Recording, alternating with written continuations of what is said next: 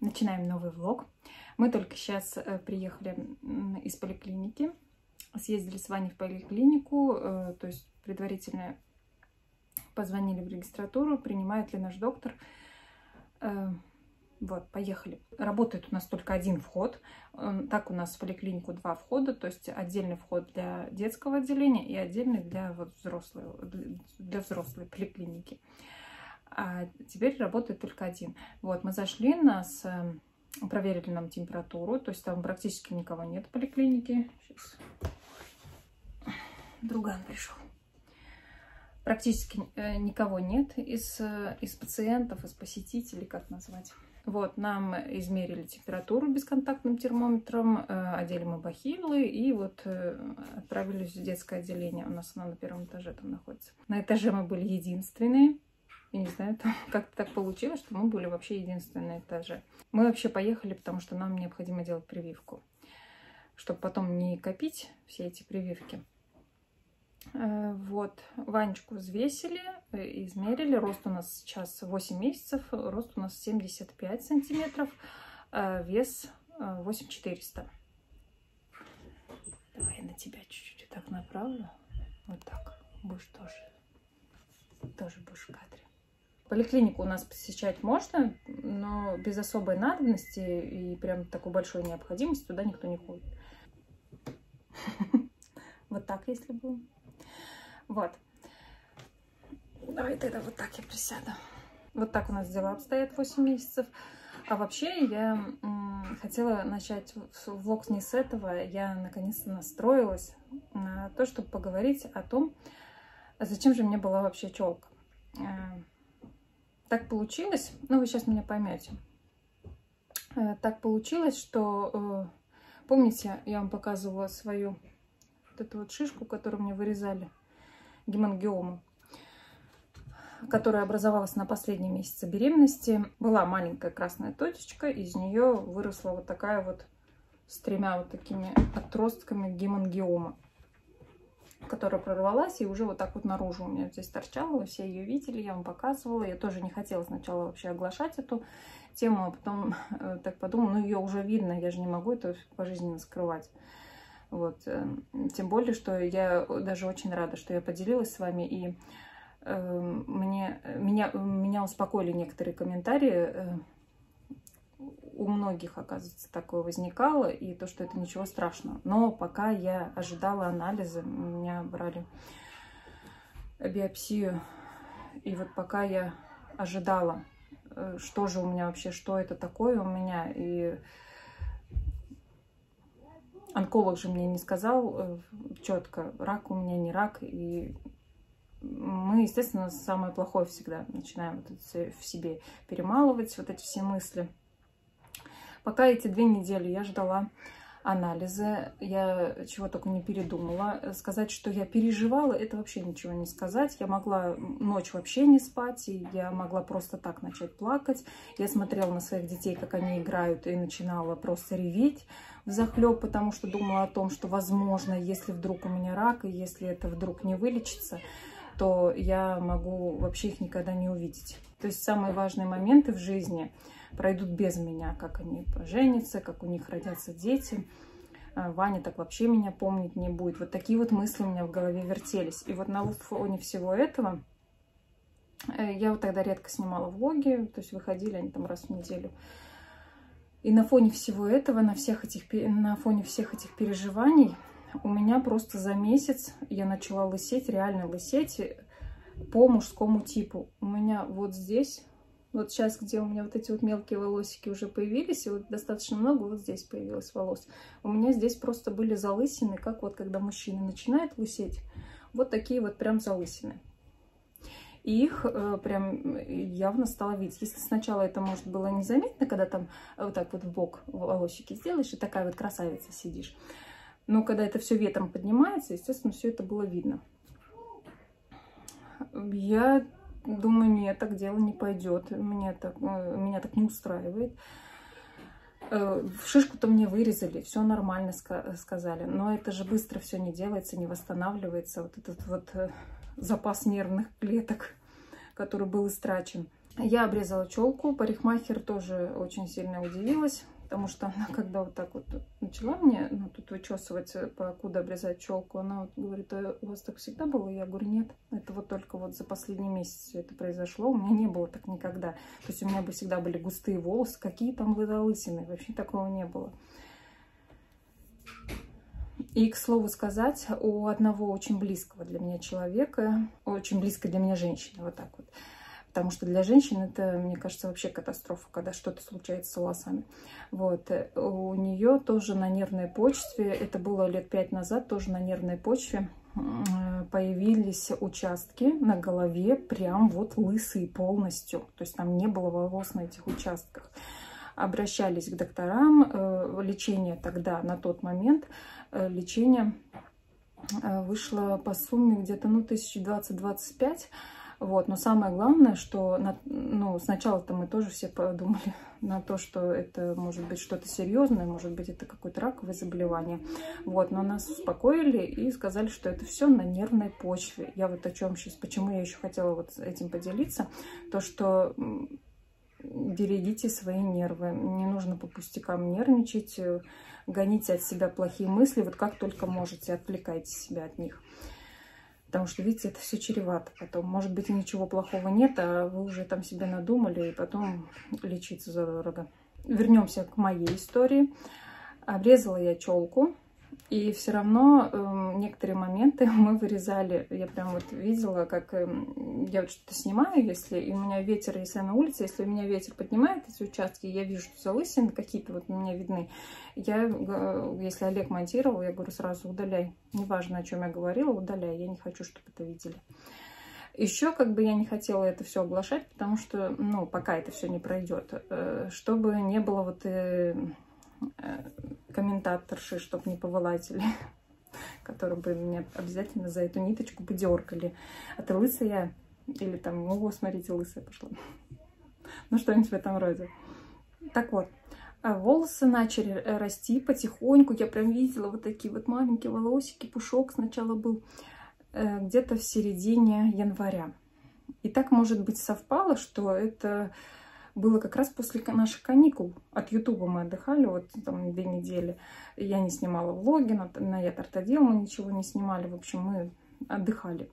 Вот, может быть, это повлияло. Может быть, просто прошло время, и они начали расти после вот этого стресса перенесенного. Э, я была очень рада. Вот прям несказанно рада. При том, что я особо, видите, ничего такого не делала. Мне нужно было всего лишь успокоиться. То есть я не прибегала к никаким медикаментозным вообще средством. Эм, ну, витаминки, как бы, ну, витаминки, то есть и без этого же употреблялись, ну, то есть пила. Просто надо было успокоиться и все. Не принимать все близко к сердцу. Я тогда и комментарии особо никакие больше не читала. И старалась вообще об этом, обо всем не думать. А теперь, когда у меня появились наконец-таки волосы на передней части, теперь вот, видите, нет ничего такого. Ну, вот мне кажется, можно найти видео во влогах, где вот у меня прям видно, явно видно вот эти вот части, такие лысые. Сейчас все хорошо, теперь можно либо вот так вот челку делать, либо назад ее зачесывать. В общем, прически все возможные делать, укладки. Правда, некуда их сейчас делать, но все равно я очень рада, что это все прошло. И вот этим своим, наверное, рассказом я бы хотела сказать, чтобы берегите свои нервы, не переживайте по пустякам. Хотя это иногда и невозможно, но старайтесь как можно больше отвлекать себя от плохих мыслей, гнать их от себя. Ну или раз уж такое произошло, то вот в моем случае помогло спокойствие. Просто, как я уже говорила, для, му ну, для мужчины, может быть, это и является нормой, нормой когда он, ну, в, в течение нескольких лет у него появляются какие-то залысины, то есть он уже готовится морально к тому, что, ну, волос не будет на голове, но ничего страшного. То для женщины, которая вот буквально спустя месяц обнаруживает у себя там какие-то вот такие вот пустые участки, особенно когда это лов, вот здесь вот это вот открывается, если здесь где-то на макушке, то можно прикрыть волосами, сделать хвостик, может быть и не видно. А здесь же все у всех на виду, вот это все вот видно. Это еще больше вгоняет в стресс. Но, слава богу, что все хорошо. А насчет гемангиомы, которая у меня образовалась, в основном она появляется у новорожденных. То есть мама э, во время беременности либо перенесла какое-то вирусное заболевание, либо был какой-то скачок гормональный. Это может вот так вот э, выразиться. В качестве вот таких вот бугров на кожном покрове, либо вот они будут вот прям такие вот явные, либо это может быть еще даже под кожей. Вот так. Э, у нас, кстати, у Машеньки, у вот моей племянницы 23 года, который вот у нее при рождении тоже была такой небольшой узор, вот как вот такой вот красный, бордовый даже. И она у нее со временем прошла. Это гемангиома.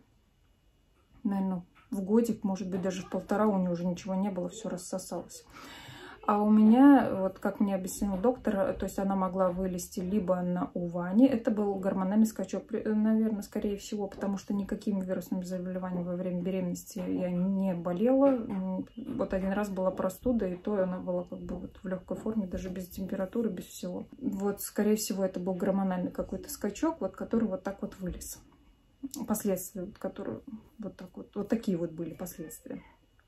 Либо это, вот как мне сказал врач, могло появиться у Вани при рождении, вот мы могли бы где-нибудь обнаружить у него, либо это вот у мамы.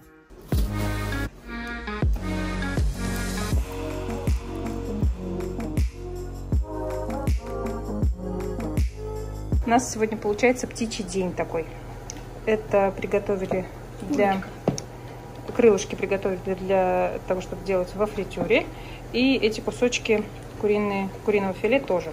А здесь у меня индейка еще подготовлена. Я буду делать фарш э, на котлеты из индейки. Из расчета э, на 1 килограмм э, мяса 10 грамм соли.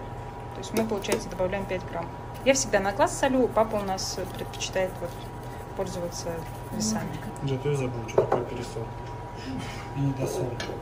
А на обед сегодня у нас суп с фрикадельками. А Ванечка сейчас будет кушать творожок. Сейчас книжечку доедим и будем кушать творожок, да, сынок? Добавили специи, э, паприку, перец красный, перец черный и, и сушеный чеснок. Я достала тут Ване творог с холодильника, чтобы он у нас немножко подогрелся. Это у нас на перекус. А на обед э, будет вот такая вот пюрешка из брокколи, морковки и индейки. Но это еще не сейчас. Я просто ему рано сделала. Надо сейчас блендером перебить, а потом подогрею, когда будет кушать. Творожка мы кушаем немного, буквально ну, до 30 грамм. Здесь получается у нас 100 грамм такой вот баночки. Мы съедаем ну, где-то чуть меньше половины. А вообще в таком возрасте творожок, э, я читала, нельзя больше 50 грамм давать ребенку как у нас возраст. Нам сейчас 8 месяцев. Мука, красный перец, паприка. И потом еще, наверное, добавим чеснок, да? В общем, все то же чеснок самое, что у нас... Добавлю. Ага. В общем, я так поняла, что все то же самое, все те же самые приправы, что и э, вот для маринада использую. Фритюрница наша греет масло до 175, ой, до 170 градусов уже поставили. Там у нас литр масла, она у нас небольшая, всего на литр. Немножко воды еще добавили. И сейчас будем обваливать в муке. Это рецепт мы ниоткуда не брали, чисто по вдохновению. Все. А может щипцы взять? У нас там есть красненькие щипцы.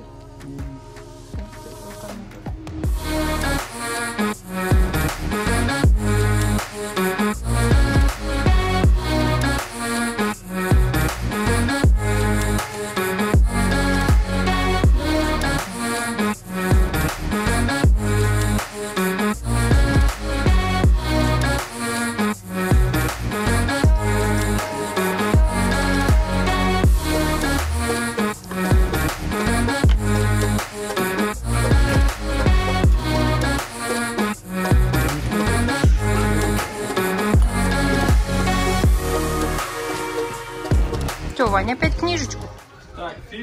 Давай. Брюс Всемогущий. Да, Брюс Всемогущий сегодня будем смотреть. Сейчас папа дожарит нам кусочки э, курицы и эти крылышки. И будет у нас напольный пикник. Да? Кирилл, ты что, с войны вернулся? У тебя ноги что все в синяках? Побои. Не знаю. Бандитская пуля летела, летела. Мгм. Приходил Никитка, поиграли мы немножко. На улице. О, Да, увеличенный был. Вон свои есть, и мамины есть, и мои есть. Курицу полностью пожарили, и Олежек ее завернул в фольгу, чтобы она не остыла, пока мы тут будем картошку еще жарить. Картофель будем использовать такой готовый. Он у нас в морозилке хранился, и, как и пока э, сказано в инструкции, что его мороженым и нужно во фритюре обжаривать. Так, игрушки собираем. Сейчас пока у нас папа будет фри, обжаривать, жарить. Как раз все подготовим. Сейчас Никита одеяло расстелит, будем на одеяле сидеть. Что Ваня тут рядом ползал. Валяться будем и фильм смотреть. Так, все. У нас все готово. К просмотру фильма все готовы. Да. Ой, все готово. уже не имется. Тут запах стоит, конечно, умопомрачительный. Картошка фри. Вот какая получилась. Здесь у нас получается сверху это крылышки, а внизу кусочки вот филе. Так вот все. Вкусненько и красиво. И различные соусы. Это майонез с чесноком. Здесь у нас кетчуп. Где-то какой-то из них э, Вот это соус. сальса. А, это сальса, а вот это кетчуп, Это значит. А это сырный соус Немножко. немножко сырного соуса. Все, приятного аппетита. Мы будем смотреть фильмы. Всем до следующего влога. Всем пока.